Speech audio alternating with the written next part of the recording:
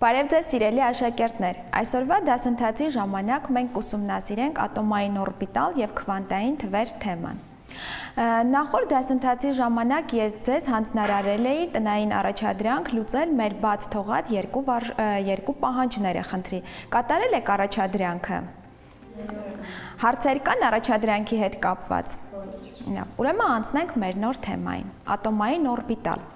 Մենք արդեն նախորդ դասընթացների ժամանակ քննարկեցինք ատոմի կառուցվածքը, համաձայն որի ատոմը կազմված է, խնդրեմ Լաուրա։ Ատոմը կազմված է միջուկից եւ իր շուրջը պտտվող բացասական էլեկտրոններից, իսկ միջուկի հերթին կազմված է պրոտոններից եւ նեյտրոններից։ Պրոտոնները դրական լիցքավորված մասնիկներ են, իսկ նեյտրոնները չեզոք են։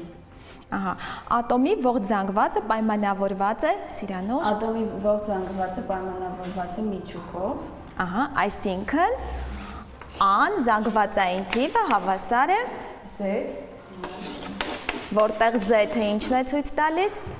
Որտեղ z-ը ցույց է տալիս զանգվածային թիվը, այսինքն կարգաթիվը։ Z-ը Z-ը Z-ը ինչն է?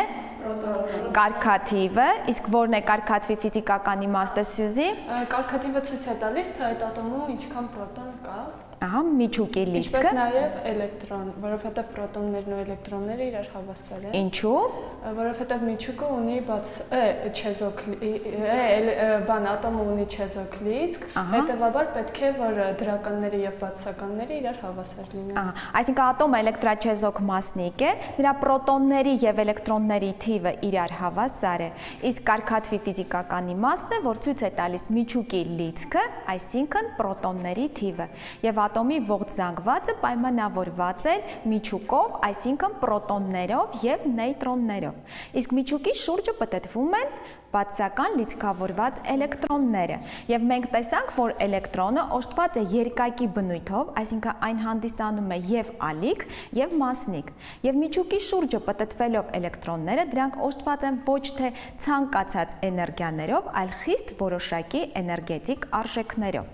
Եւ գիտենք, որ էլեկտրոնի անցումը մի էներգիական մակարդակից մյուսին ուղեկցվում է էներգիայի կլանմամբ կամ անջատմամբ, որը տեղի է ունենում խիստ որոշակի որոշակի մասնաբաժիններով, քվանտներով եւ այդ հավասար է երկու էներգիական մակարդակին համապատասխանող էներգիաների տարբերությանը։ Այժմ քննարկենք ջրածնի ատոմի կառուցվածքը։ Ով կարող է ասել ինչի է հավասար ջրածնի ատոմի կարգաթիվը, Լաուրա։ Մեկի։ Դա ինչ է նշանակում։ Այսինքն նշանակում է, որ ջրածին ատոմը պարունակում է 1 պրոտոն եւ 1 էլեկտրոն։ Եվ նրա շուրջը պտտվում է 1 էլեկտրոն։ Եվ այդ 1 էլեկտրոնը գտնվում է ամենաստորին, այսինքն միջուկին ամենամոտ էներգիական մակարդակում։ Սա իրենից ներկայացնում է ջրածնի ատոմի հիմնական վիճակը։ Սակայն եթե մենք ջրածնի ատոմը ճառագայթենք, չէ, որոշակի էներգիայով օժտված ճառագայթով, ինչ տեղի կունենա, Լաուրա այդ մեկ էլեկտրոնը ավելի ցածր էներգիական մակարդակից կանցնի ավելի բարձր, այսինքն առաջինից կարող է անցնել երկրորդ, երրորդ էներգիական մակարդակները եւ արդեն ջրածնի ատոմը կգտնվի ինչ վիճակում? Այո, գրգռված վիճակում, քանի որ նա օժտված է ավելցուկային էներգիայով։ Իհարկե այդ վիճակը երկարատև չէ, կայուն չէ եւ ժամանակի ընթացքում կրկին էլեկտրոնը վերադառնալու է իր սկզբնական դիրքին, այսինքն ամենաստորին էներգիական մակարդակին եւ ճառագայթելու է այդքան էներգիա, ինչքան որ մենք նրան հաղորդել ենք։ Ուրեմն այսպիսով էլեկտրոնը պտտվելով միջուկի շուրջը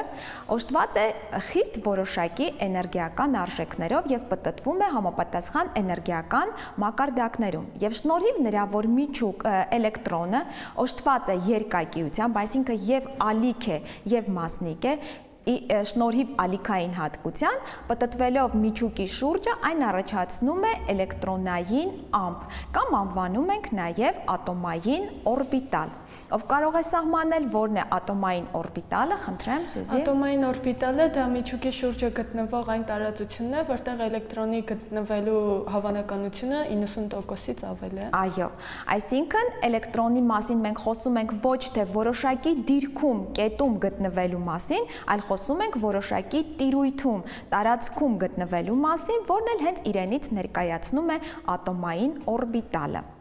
Ժամանակակից քվանտամեխանիկական տեսության հիման վրա կան 4 քվանտային թվեր, որոնց օգնությամբ մենք կարողանում ենք ցույց տալ էլեկտրոնի վիճակը ատոմում, բնութագրել ատոմային օրբիտալի ձևը, ինչպես նաև կողմնորոշումը տարածության մեջ։ Այժմ քննարկենք քվանտային թվերը։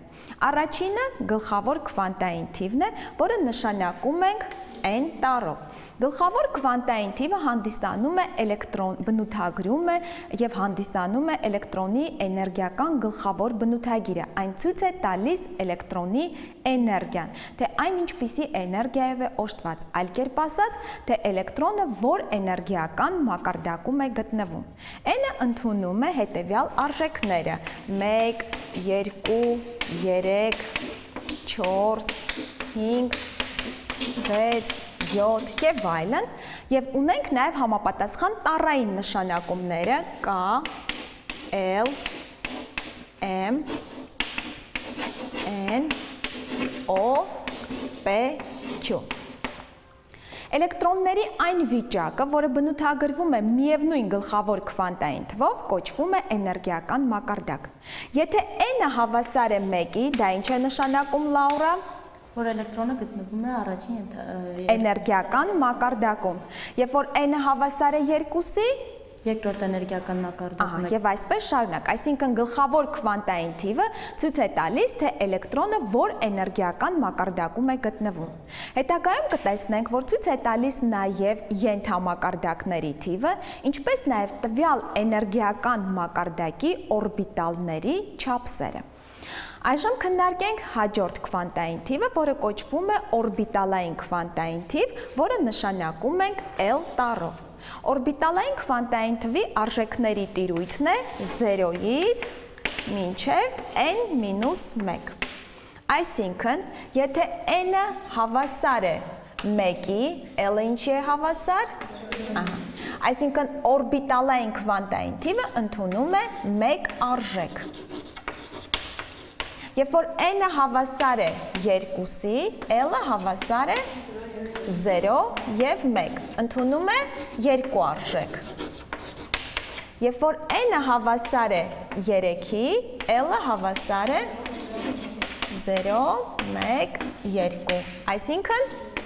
3 արժեք։ n-ը հավասար է 4-ի, l-ը հավասար է 0, 1, 2 եւ 3։ Ունենք 4 արժեք։ Օրբիտալային քվանտային թիվը L-ը ցույց է տալիս օրբիտալի ձևը կամ տեսքը։ Եվ օրբիտալային քվանտային թիվը ընդունում է 0, 1, 2, 3 եւ այլն արժեքներ, որոնք ունեն նաեւ տառային նշանակումներ։ Երբ որ L-ը հավասար է 0-ի, Լաուրա, որ օրբիտալն է S օրբիտալը, L-ը հավասար է 1-ի, P օրբիտալը, L-ը 2-ի դեպքում D-ն, ահա, F օրբիտալը։ S օրբիտալը Սիրանուշ ինչպիսի ձև ունի։ Գնդաձև է։ Ահա, իսկ P օրբիտալը տեսք ունի d օրբիտալը քառաթեր ծաղիկ, f օրբիտալի տեսքը ավելի բարդ է։ Ուրեմն քանի որ s օրբիտալը գնդաձև է, դա նշանակում է, որ այն համաչափ է բոլոր հարթություններով։ p օրբիտ, ահա, s օրբիտալի տեսքը սխեմատիկորեն կարող ենք ներկայացնել այսպես. p օրբիտալը մարզագնդի տեսք ունի, d-ն քառաթերթ ծաղիկ է, F օրբիտալի տեսքը ավելի բարդ է։ Մենք նշեցինք, որ գլխավոր քվանտային թիվը հանդիսանում է բնութագրում է ցույց է տալիս էլեկտրոնի էներգիան։ Որոշ չափով նաև օրբիտալային քվանտային թիվը նույնպես բնութագրում է էլեկտրոնի էներգիան։ Նաև նշեցինք, որ գլխավոր քվանտային թիվը ցույց է տալիս էներգիական մակարդակի ենթամակարդակների թիվը։ Նայենք այստեղ Երբ որ մենք առաջին էներգիական մակարդակում ենք, օրբիտալային քվանտային թիվը ընդունում էր 1 արժեք եւ որին համապատասխանում էր s օրբիտալը։ Այսինքն, առաջին էներգիական մակարդակը ունի 1 ենթամակարդակ, որը s ենթամակարդակն է։ Երկրորդ էներգիական մակարդակը ունի 2 ենթամակարդակ S-ը եւ P-ն։ Երրորդ էներգիական մակարդակը 3 S, P, D եւ չորրորդը 4 ենթամակարդակներ ունի S, P, D եւ F։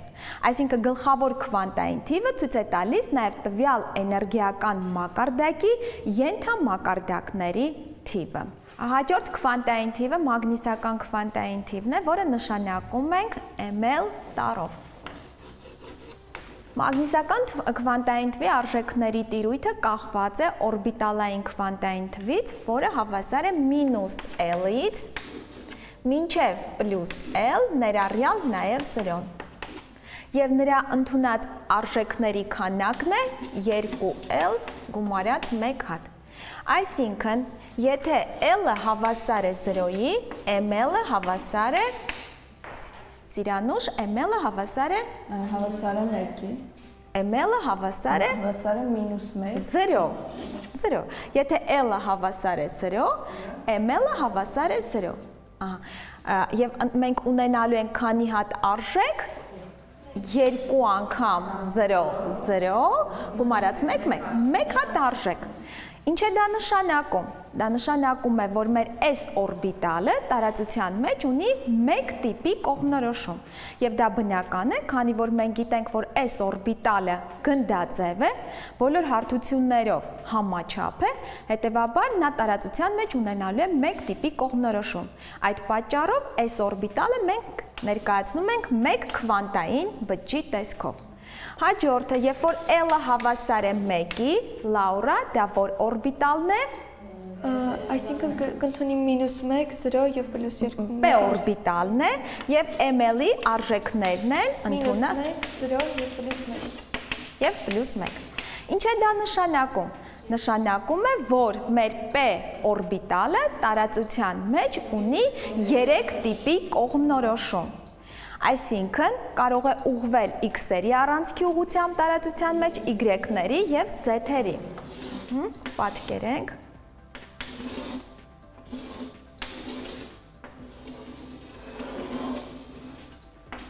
px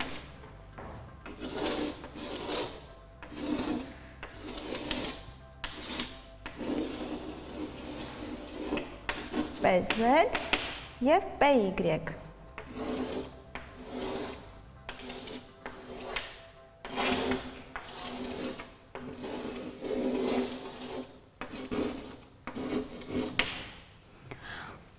Ուրեմն այս երեք օրբիտալները օժտված են նույն էներգիայով, բայց դրանք տարածության մեջ ունեն 3 տիպի կողմնորոշում միջուկի հանդեպ։ Այդ պատճառով էլ մենք P ենթամակարդակը ցույց ենք տալիս 3 քվանտային բջիջներով։ Px, Py եւ Pz։ Հաջորդը, երբ որ L-ը հավասար է 2-ի, սա որ օրբիտալն է, D-ն, ահա, եւ արժեքների տիրույթն են մագնիսական քվանտ -2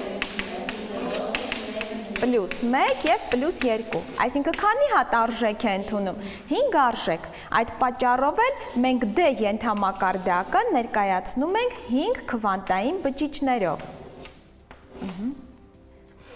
Հաջորդը, երբ որ L-ը հավասար է 3-ի, ML-ը ընդունում է ինչ արժեքներ։ 3, ահա, մինուս 2, մինուս 1, 0, պլյուս 1, պլյուս 2 եւ պլյուս 3։ Քանի հատ արժեք ստացվեց։ 7 արժեք, այդ պատճառով էլ F ենթամակարդակը բաղկացած է 7 քվանտային բջիջներից։ Այսպիսով մագնիսական քվանտային թիվը ցույց է տալիս օրբիտալի կողմնորոշումը տարածության մեջ միջուկի հանդեպ։ Եվ տեսանք, որ S ենթամակարդակը բաղկացած է 1 օրբիտալից, P ենթամակարդակը 3 օրբիտալից, D-ն 5 օրբիտալից եւ F-ը կազմված է 7 օրբիտալից։ Օրբիտալում էլեկտրոնների լրացումը տեղի է ունենում Պաուլի արգելման սկզբունքի համաձայն։ որտեղ ասվում է, որ միևնույն օրբիտալում տեղավորվում է երկու էլեկտրոն հակառակ սպիներով, որը մենք կտեսնենք քիչ ավելի ուշ։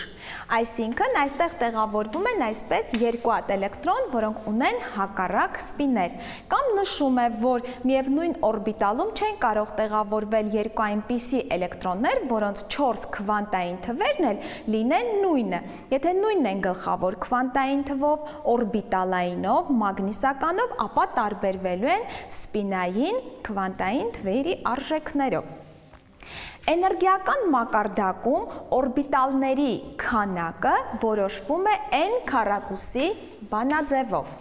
Մենք նշեցինք, որ էներգիական մակարդակներում օրբիտալների քանակը որոշվում է n քառակուսի բանաձևով։ Այսինքն, եթե n-ը հավասար է 1-ի, մենք գտնվում ենք առաջին էներգիական մակարդակում, օրբիտալների քանակը լինելու է 1 հատ։ Այսինքն առաջին էներգիական մակարդակում մենք ունենք ընդամենը 1s օրբիտալ։ Երբ որ n-ը հավասար է 2-ի, 2-ի քառակուսի, այսինքն լինելու են 4-ը։ 1 հատ s օրբիտալն է եւ 3 հատ p էներգիա ենթամակարդակի օրբիտալներն են։ Երբ որ n-ը հավասար է 3-ի, 3-ի քառակուսին ստացվում է 9, այսինքն s-ը 1 օրբիտալ, ահա, p-ն 3 օրբիտալ, d-ն 5, գումարային ստացվում է 9 հատ։ Երբ որ n-ը հավասար է 4-ի, ստացվում է 4-ի քառակուսի, որը 16-ն է, այսինքն s-ը 1 օրբիտալ, p-ն 3 հատ օրբիտալ, d-ն 5 եւ f-ն էլ 7 օրբիտալ գումարը ստացվում է 16։ Եվ նշեցինք, որ ամեն մի օրբիտալում տեղավորվում է երկու էլեկտրոն։ Այսինքն էներգիական մակարդակում առավելագույն էլեկտրոնների թիվը որոշվում է 2 n քառակուսի բանաձևով։ Հետևաբար, առաջին էներգիական մակարդակում առավելագույն էլեկտրոնների թիվը լինելու է 2, երկրորդ էներգիական մակարդակում 8, երրորդ էներգիական մակարդակում առավելագույն էլեկտրոնների թիվը 18 եւ չորրորդում առավելագույն էլեկտրոնների թիվը լինելու է 32։ Եվ հաջորդ քվանտային թիվը սպինային քվանտային թիվն է, որը նշանակում ենք ms-ով, որի ընդունած արժեքներն են պլյուս 1 երկրորդ եւ մինուս 1 երկրորդ, որը նաեւ ցույց ենք տալիս սլակների տեսքով դեպի վեր եւ դեպի ներքև ուղված, որը իրենից ներկայացնում է էլեկտրոնի սեփական պտտման մոմենտը որը բնութագրվում է սպինային քվանտային թվով։ Ուրեմն այսպիսով այսօր մենք ծանոթացանք, թե ինչ է ատոմային օրբիտալը եւ ցույց տվեցինք այն 4 քվանտային թվերը, որի օգնությամբ մենք բնութագրեցինք ատոմի էլեկտրոնի վիճակը ատոմում, ցույց տվեցինք օրբիտալի ձևը, կողմնորոշումը տարածության մեջ։ Այժմ եկեք ամփոփենք մեր ստացած գիտելիքները կատարելով Շտեմարյան առաջինի ատոմի կառուցվածք թեմայի վերաբերյալ թեստային առաջադրանքներ։ Կարդացեք 9-րդ թեստը։ Քվանտային թվերի որ արժեքներով է բնութագրվում 3D ենթամակարդակում գտնվող էլեկտրոնը։ Ահա 3D էլեկտրոնը գտնվում է երրորդ ենթամակարդակում, ապա Չէ, քանի որ ենթամակարդակում չէ։ 3D էներգիական մակարդակ չէ։ Նայեք, ուրեմն այստեղ արչեվի թիվը ի՞նչն է ցույց տալիս։ 3-ը ցույց է տալիս, թե ինքը որ էներգիական մակարդակում է գտնվում։ Այսինքն գլխավոր քվանտային թիվը հավասար Ահա։ Հիմա D ենթամակարդակն է երրորդի, ահա։ Իսկ L-ը հավասար է n-1, այսինքն L-ը հավասար է 2։ Ահա, L-ը հավասար 2-ի։ Ուրեմն հիշում ենք, որ արչևի թիվը ցույց է տալիս, որ գլխավոր քվանտային թիվը հավասար է 3-ի, ճիշտ է։ Իսկ արդեն D-ի համար օրբիտալային քվանտային թիվը հավասար է 2-ի։ Ուրեմն որտեղ որ ուզում է լինել մեր D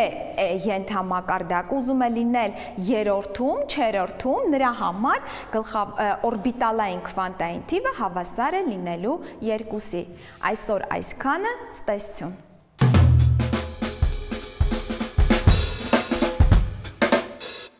Բարև ձեզ։ Այսօր մեր հերթական դասն է։ Այսօր մենք կանցնենք բջջի օրգանական նյութերը, ածխաջրերը, ճարպերը, նրանց կառուցվածքը եւ ֆունկցիաները։ Սկսենք։ Ուրեմն ածխաջրերը հենց անվանումը ասում է, որ կազմված են ածխածնից եւ ջրածնից։ Բանաձևը տեսնում եք, CX H2Y անգամ։ Այ օրինակով կարող է պատասխանել։ Ինչու ես չեմ գրել նույն ինդեքսները։ Ինչու չեմ գրել Ահա, ճիշտ է, որովհետև կան ածխաջրեր, որոնց մոտ չի համընկնում ածխածնի քանակը եւ ջրի քանակը։ Հետևաբար պետք է գրել տարբեր x եւ y նշաններով նշանակել։ Շատ բարի։ Ածխաջրերը կարևորագույն ֆունկցիաներ են կատարում մեր օրգանիզմում եւ շատ հաճախ մեր սննդի մեծ մասն են կազմում։ Ածխաջրերը կարելի է դասակարգել հետևյալ կերպ. մոնոշաքարներ կամ միաշաքարներ եւ բազմաշաքարներ։ Չնայած որոշ հեղինակներ գտնում են, որ կարելի է դասակարգել նաեւ երկշաքարներ, որոնք որ երկու մոնոսախարիդներից են կազմված, օլիգոշաքարներ 3-ից մինչև 10 շղթաներ ունեցող եւ 10-ից բարձրը արդեն պոլիշաքարներ։ Որոշ հեղինակներ էլ գտնում են ինչպես որ ես եմ այստեղ գրել, որ պոլիշաքարների ներսում կարելի է արդեն դասակարգումը երկշաքարներից դեպի բարձր տանել։ Այսօր մենք այս դասակարգման սկզբունքը կդիտարկենք։ Մոնոշաքարները դրանք կարելի է դասակարգել ըստ ածխածնի բարունակության նրանց ներսում, ասենք եթե բարունակեն C4 հատ, C5 հատ կամ 6 ածխածնային շղթայում։ Եթե 5-ը եւ 6-ը բարունակեն կկոչվեն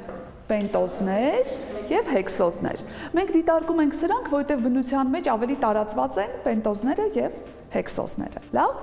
Պենտոզներից ուրեմն ամենատարածվածներից եւ ձեզ ծանոթներից են ռիբոզը եւ դեզօքսիրիբոզը։ Այո, ռիբոզը հանդիպում է նուկլեինաթթուներից ապրես ՌՆԹ-ի մեջ, իսկ դեզօքսիրիբոզը ԴՆԹ-ի մեջ։ Հիմա եկեք տեսնենք տարբերությունը։ Այ ո՞րն է տարբերությունը ռիբոզ եւ դեզօքսիրիբոզ։ Կարծես թե շատ նման է, չէ՞ անվանումը։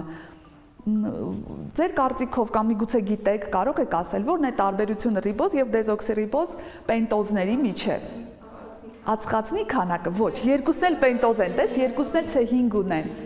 ջրի քանակը, եթե ավելի մանրամասնենք, ջրի ներսում ապրես թթվածնի քանակը տարբեր է։ Այսինքն դեզօքսիրիբոզ թարգմանաբար նշանակում է դեզ առանց 1 հատ թթվածի, հա, դեզօքսի, առանց 1 թթվածին։ Այսինքն դեզօքսիրիբոզը ռիբոզից տարբերվում է մի թթվածնի պատճառով, մի թթվածին քիչ ունի։ Եվ նա հանդիպում է արդեն ԴՆԹ-ի նուկլեինաթթուներից ԴՆԹ-ի կառուցվածքի մեջ։ Լավ։ Պոլիշաքարներից ամենատարածվածներից են օսլան, թաղանթանյութը, գլիկոգենը, հեպարինը, կարող եք շարունակել, խիտինը, մանանը, մուրեինը, ճիշտ է։ Լավ, հիմա եկեք խոսենք պոլիշաքարների մասին։ Պոլիշաքարներում մոնոշաքարների որևիցե մեկը հանդիսանում է որպես մոնոմեր։ Եվ պոլիմերներում, այսինքն գումարվում են մոնոմերները եւ ածխածնային շղթան այսպես երկար է ավելի ստացվում։ Պոլիշաքարները կարող են կազմված լինել միևնույն մոնոշաքարից, այդ դեպքում կկոչվեն հոմոպոլիշաքարներ, եթե միևնույն մոնոշաքարն է կրկնվում նրանց մեջ, օրինակ գլյուկոզը կարող է կրկնվել։ Իսկ կարող է լինել հետերոպոլիշաքարներ, որտեղ որ տարբեր, այո, մոնոմերները տարբեր կարող են լինել, օրինակ գլյուկոզ եւ ֆրուկտոզ կարող է լինել մոնոմերներից։ Լավ, օսլան, թաղանթանյութը եւ գլիկոգենը, նրանց մոնոմերը հանդիսանում է գլյուկոզը, ապրեք։ Այսինքն անընդհատ կրկնվում է գլյուկոզ մոնոմերը։ Լավ, կարող ենք հիշել որտեղ է հանդիպում օսլան օրինակ։ Կարտոֆիլի պալարներում, այո, որը մենք սննդի մեջ ենք օգտագործում, հացի մեջ, հա, այսինքն հացահատիկը։ Այսինքն հիմնականում բույսերը կուտակում են օսլա։ Լավ, իսկ թաղանթանյութը որտեղ է հանդիպում։ Բուսական, ճիշտ է, ճիշտ է, շտկեցիք ձեզ, բուսական բջջի, բջջապատի կառուցվածքի մեջ է մտնում եւ տալիս է նրան ամրություն։ Լավ, եթե խոսենք գլիկոգենի մասին, կենթանական,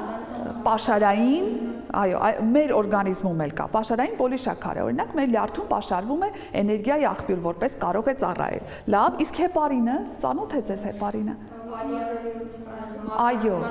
դեմ, այո, մակարդելիության հակառակ է ազդում, այսինքն թույլ չի տալիս, որ արյունը մակարդվի։ Հեպարին ամեն օր մեր լյարդը շատ քիչ քանակով արտադրում է արյան մեջ, որպեսզի մակարդելիությունը նորմալ կարգավիճակում լինի։ Իսկ կենթանիներից հեպարին շատ արտադրում են տզրուկները։ Լսել եք երբևէ տզրուկաբուժության մասին, հենց այդ նրանց կողմից արտադրված այդ նյութը օգնում է, որպեսզի որոշակի հիվանդություններ կարողանան բուժվել։ Լավ։ Հիմա խոսենք հետաքրքիր ուրեմն խմբի մասին,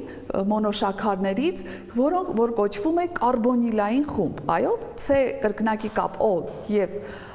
այս խումբը կոչվում է կարբոնիլային խումբ։ Եթե կարբոնիլային խումբը գտնվում է ծայրից, ինչպես որ գլյուկոզն է տեսնում եք, մոնոշաքար գլյուկոզը, հեքսոզների պատկանող, ապա նման կառուցվածքը կոչվում է ալդեհիդ, այսինքն ալդոզ, որովհետև կարբոնիլային խումբը ծայրից է, սրանք ալդոզներն են, լավ։ Իսկ եթե կարբոնիլային խումբը գտնվում է տեսնում եք այստեղ մեջտեղում, լավ, այսինքն եւ մյուս ծայրում ունենք ածղածին եւ ներքևի ծայրում, սրան արդեն անվանում ենք կետոզներ, լավ, այսինքն ֆրուկտոզը իրենից ներկայացնում է կետոն։ Ճիշտ է, երկուսն էլ տեսնում եք, պատկանում են հեքսոզներին եւ գլյուկոզը եւ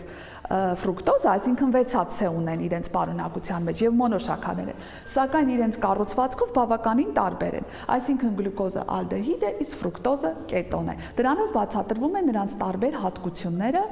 եւ տարբեր ֆունկցիաներ կատարելը։ Իսկ գլյուկոզը որտեղ է հանդիպում։ Գլյուկոզը, ահա, գիտեք, անպայման երբ որ կատարում են կամ թթվածնային ջերքավորում։ Լավ, այսինքն ուզում ես ասես միտոքոնդրիումները մեր, այո, AEF ստանալու համար ջերքում են գլյուկոզ, լավ։ Մենք սննդի միջոցով ֆոտոսինթեզով բույսերն են արտադրում գլյուկոզ, ճիշտ է։ Քաղցրավենիքի մեջ է պարունակվում խաղողաշաքար են նաև անվանում գլյուկոզին։ Իսկ ֆրուկտոզը ավելի շատ պարունակվում է մրգերի մեջ, ճիշտ է, եւ տալիս է նրանց քաղցր համը։ Շատ բարի ուրեմն պայմանավորվենք, որ եւ հիշենք սա, որ օսլայի թաղանթանյութի գլիկոգենի մոնոմերը հանդիսանում էր գլյուկոզը։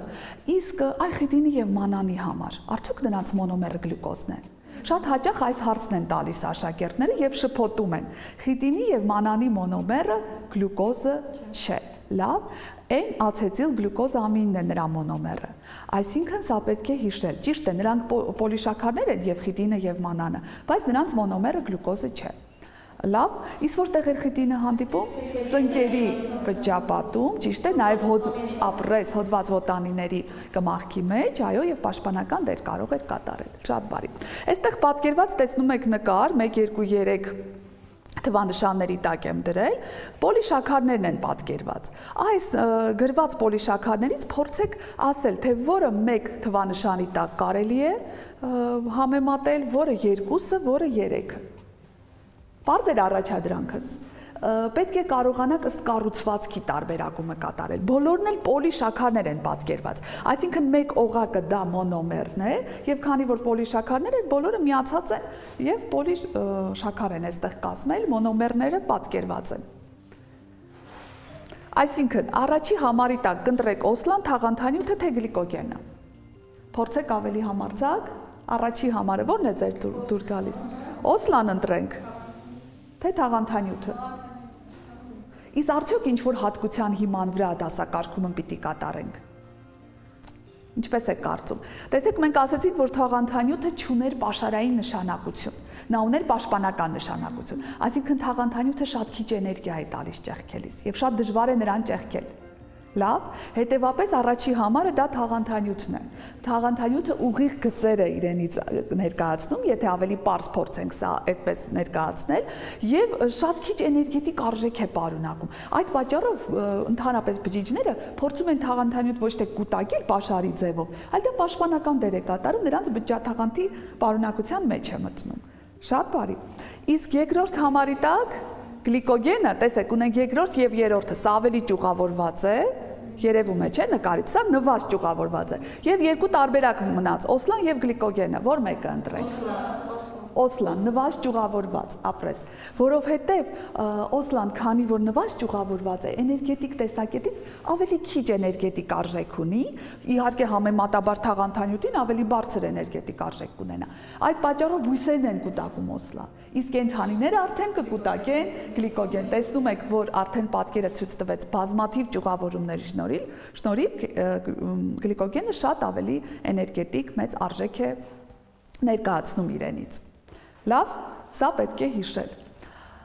Հիմա անդրադառնանք ֆունկցիաներին թե ինչ ֆունկցիաներ են կատարում ածխաջրերը։ Նախ ասենք, որ մոնոշաքարները լավ են լուծվում ջրում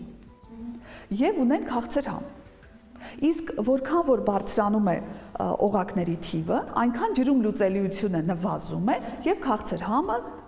նվազում է եւ հա- հետո գրեթե անհետանում է։ Այսինքն մոնոշաքարները ավելի քաղցրահամ են, պոլիշաքարները նվազ քաղցրահամ են, նույնիսկ որոշները, օրինակ թաղանթանյութը կարող են շատ քիչ գրեթե աննշան քաղցր համ ունենալ։ Լավ, իսկ եթե խոսենք ֆունկցիաներից, ինչ ֆունկցիաներ են կատարում։ Մենք արդեն ասեցինք որտեղ են պարունակվում, դրանից էլ որոշվում են ֆունկցիաները։ Ուրեմն էներգետիկ ֆունկցիան շեշտեցինք, պաշտպանական, կառուցողական, ապրեք, պաշարային ֆունկցիա։ Մասնակցում է նաև բջիջների միմյանց հետ միակցմանը։ Միակցմանը, ապրեք։ Հիմա եկեք մի քիչ բացեք այս ֆունկցիաները։ Ուրեմն ասեցինք, որ էներգետիկ ֆունկցիա են կատարում։ 1 գրամ ածխաջրի ճեղքելիս 10 ապրեք, շատ շատ լավ է։ 17.6 կիլոջոուլ էներգիա ենք ստանում 1 գրամ ածխաջրի ածխաջրածնի ճեղքելիս։ Լավ։ Իսկ մյուս ֆունկցիան ասեցին կառուցողական, այսինքն մտնում են թաղանթների մեջ բջիջ թաղանթների կառուցվածքի մեջ ապրեք հատկապես շատ է թաղանթներում հանդիպում Թա հենց թաղանթանյութ, որ բառը հենց ասում է ցելյուլոզը թաղանթանյութը, հատկապես բուսական բջջապատի մեջ եւ պաշտպանական դերեր կատարում։ Լավ, հաջորդ ֆունկցիան դուք շեշտեցիք պաշտպանական պաշտպանական դերը Եվ սնդենթեր պաշարում։ եւ պաշարում։ Պաշարման դեր կատարում էր Օսլան բույսերի մոտ ապրես եւ գլիկոգենը կենթանիների մոտ էր պաշարվում, շատ բարի, իսկ պաշտպանականը շեշտենք, որ որոշ բջիջների, հատկապես բակտերիաները, պատված են լորձով, ճիշտ է, եւ այդ լորձի մեջ պարունակվող ածխաջրերը հենց կարող են պաշտպանական դեր ունենալ։ Նրանք բարձրացնում են բակտերիաների ախտածին հատկությունները եւ դրանով իսկ բակտերիաները կարողանում են պաշտպանվել եւ նվազ խոցելի են դառնում արդեն դեղորայքի կամ մարդու կողմից արտադրված մարդու օրգանիզմի կողմից արտադրված հակամարմինների նկատմամբ եւ հետեւապես ավելի դժվար է լինում բուժել արդեն այդ բակտերիալ հիվանդությունը ենթադրեն կամ ազատվել տվյալ բակտերիայից շատ բարի այսպիսով ավարտեցինք ածխաջրեր թեման եւ անդրադառնանք մյուս օրգանական նյութերին բջջում պարունակվող դրանք են ճարպերը մյուս օրգանական նյութերը լիպիդներն են լիպիդները ներկայացնում են ճարպերը եւ ճարպանման նյութերը լավ օրինակ լիպիդներից են խոլեստերինը ձեզ ծանոթ, լավ, կենթանական ճարպերը, կարակը, որը մենք օգտագործում ենք սննդում, դրանք կարող են ձեթեր նաև լինել, եթե բուսական է։ Ճարպերը ներկայացված են, տեսնում եք, կարելի հեշտությամբ այսպես պատկերել՝ գլխիկից եւ պոչիկից։ Գլխիկում գտնվում է գլիցերինը, որը երատոմ սպիրտ է իրենից ներկայացնում, եւ հետեւապես, քանի որ սպիրտը լավ է լուծվում ջրի մեջ, իսկ պոչիկը դա ճարպաթթուն է, որը որ ջրի մեջ չի լուծվում։ Ճարպի գլխիկը հիդրոֆիլ է, իսկ պոչիկը հիդրոֆոբ է, այսինքն պոչիկը ջրում չլուծվող է, ջրից վանվում է։ Ճարպերը տարբերվում են այս ճարպաթթուների տեսակի։ Նրանք կարող են պարունակել հագեցած ճարպաթթուներ։ Այդ դեպքում ճարպերը կենթանական ճարպեր են եւ պինդ են հագեցած ճարպաթթուներում ածխածնային կապերը միակի են, հագեցած են ամբողջությամբ։ Իսկ չհագեցած ճարպաթթուները դրանք բուսական ճարպերն են կամ ձեթերը, որը որ մենք օգտագործում ենք, դրանց մոտ կրկնակի կապեր կարող են լինել։ Բայց կան բացառություններ, Տեղյակ եք բացառություններից, օրինակ որ կենթանական ճարպն է, որ կենթանական է, բայց պինդ տեսքով չէ, ապրես, ճիշտ է, ձկան յուղը։ Նաև բույսերի մոտ կա բացառություններ, բուսական ճարպերից, որը որ պինդ տեսքով է, կոկոսի եւ արմավենու, այո, յուղերը նրանք պինդ տեսքով են հանդիպում, շատ բարի։ Ճարպերը չլուծվելով ջրի մեջ առաջացնում են այսպիսի գոյացություն, որը կոչվում է լիպոսոմ։ Լիպոսոմում գլխիկները դասավորվում են դեպի ջուրը,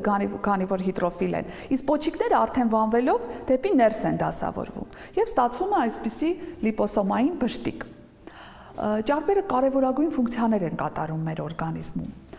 Դրանցից են կարող ենք թվարկել ճարպերի ֆունկցիաները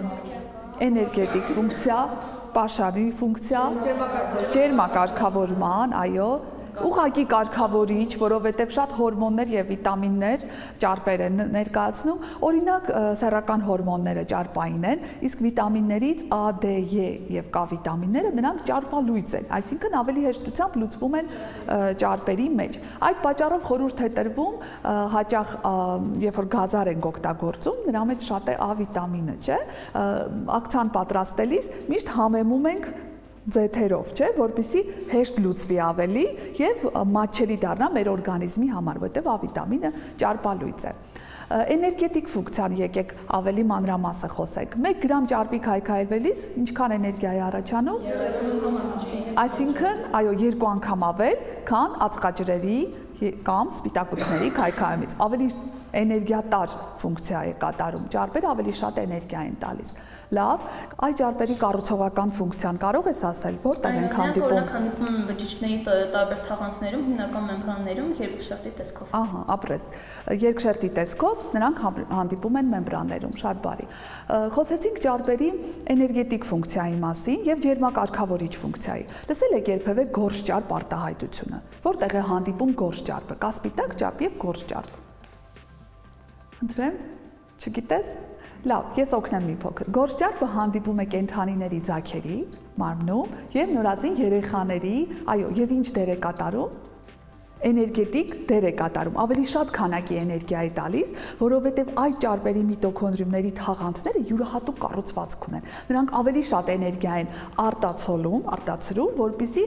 գիտեք, որ նորածին երեխաները, չէ, շուտ են սարճում, ջերմակարգավորումը նրանց մոտ լավ զարգացած չի։ Այդ պատճառով նրանց օրգանիզմում գորշ ճարպն է կերակշռում։ Ճարպերը նաև ունեին կարգավորիչ դեր, հորմոնների տեսքով կարգավորիչ դեր ունեին, իսկ ինչ ինչ գիտեք ջրի աղբյուր լինելու մասին։ Օրինակ ուխտերի մոտ։ Ահա, շատ լավ։ Շատ ճարպեր են կուտակված ու եւ դրա արդյունքում նրանք կարողանում են երկար ժամանակ առանց ջուր դիմանալ։ Այո, ճիշտ է։ Իսկ ո՞րն է պատճառը, որ հենց ճարպ ճարպ են կուտակում եւ այդ ճարպը հետո կարողանում է ջուր դառնալ։ Այո։ Եվ դրա հետևանքով առաջանում է ջուր։ Ահա, օքսիդանալիս ճարպը առաջացնում է ջուր։ Բայց կարող ենք այլ նյութեր էլ օրգանական այրել եւ նորից ջուր առաջացնել։ Ինչու է հենց նախատեսված, որ ճարպի տեսքով է ջուրը։ Որովհետև ճարպի քայքայումից ավելի մեծ քանակի ջուր է առաջանում, քան Այսինքն, եթե քայքայենք 1 կիլոգրամ ճարպ, կառաջանա 1 ամբողջ 1 տասնորդական կիլոգրամ, այսինքն ավելի շատ ջուր կառաջանա, քան հենց ճարպի զանգվածն էր։ Իսկ ինչպես դա կարող ենք բացատրել, չէ՞ որ կարծես հակասում է այդ երևույթը զանգվածի պահպանման օրենքին։ Մենք գիտենք, որ որքան նյութ որ մտնում է ռեակցիայի մեջ, նույնքան եւ ելանյութ պիտի ստանանք, որի պատճառով եւ հավասարացնում ենք ռեակցիան։ Տվյալ դեպքում ես ասեցի մի այնպիսի բան, որը կարծես հակասում էր այդ օրենքին։ Կարող ես ասել։ Չեք մտածել երբևէ դրա մասին ճարպը քայքայվելիս ավելի շատ ջուր է առաջացնում։ Բայց ինչպես հավասարեցնենք այդ ռեակցիան։ Մասնակից նյութը փորձենք գտնել։ Ճարպը, որ քայքայվում է, օքսիդանում է ապրես թթվածնի մասնակցությամբ։ Այսինքն այստեղ թթվածինը, եթե թթվածնի զանգվածը նույնպես հաշվի առնենք, ամբողջությամբ պահպանման զանգվածի պահպանման օրենքը ամբողջությամբ կգործի եւ ճշգրիտ կլինի արդեն։ Այսպիսով ամփոփենք մեր թեման։ Այսօր մենք անցանք բջջի կարևորագույն օրգանական նյութերից ածխաջրերը եւ ճարպերը։ Ածխաջրերը հանդիպում էին մոնոշաքարների եւ պոլիշաքարների տեսքով։ Իսկ այ օլիգոշաքարների մասին քիչ խոսեցինք եւ երկշաքարների մասին։ Գիտես որևիցե երկշաքար։ Չես հիշում։ Ով է հիշում, խնդրեմ։ Մալթոզ, լսել եք մալթոզը, մալթոզը, սախարոզը, դրանք երկշաքարներ են։ Այսինքն ընդամենը երկու մոնոմերից են կազմված։ Լավ, պոլիշաքարները կազմված էին ավելի շատ քանակով մոնոմերներից։ Որ պոլիշաքարի մոնոմերը գլյուկոզը չէր։ Խիտինի եւ մանանի, այո, խիտինի եւ մանանի հեպարինինը եւ գլյուկոզ եւ ֆրուկտոզը այնտեղ հանդիպում, միանշանակ խիտինի եւ մանանի համար ճիշտ կլինի պատասխանը։ Բարի, անդրադառնանք ճարպերին։ Խոսեցինք ճարպերը, որ հիդրոֆոբ են, ջրում վատ են լուծվում, կազմված այդ գլիցերինից եւ պոչկից, որտեղ որ ճարպաթթուն է գտնվում, ճարպերի կարևորագույն ֆունկցիաներ էներգետիկ ֆունկցիան, կառուցողական, ջրի աղբյուր ֆունկցիան եւ կարգավորիչ ֆունկցիաները։ Այսօրվա համար նախատեսված էր այսքանը։ Ստեսություն։